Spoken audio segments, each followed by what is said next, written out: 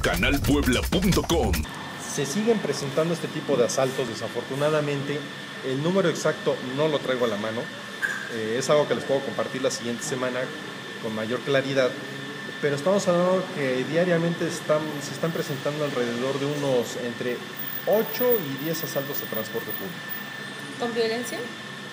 Con violencia sin violencia. Realmente ahorita ya el, asalto, asalto transporte público, algunos llegan al grado de la violencia en el cual al mismo chofer o lo pican o le dan un balazo.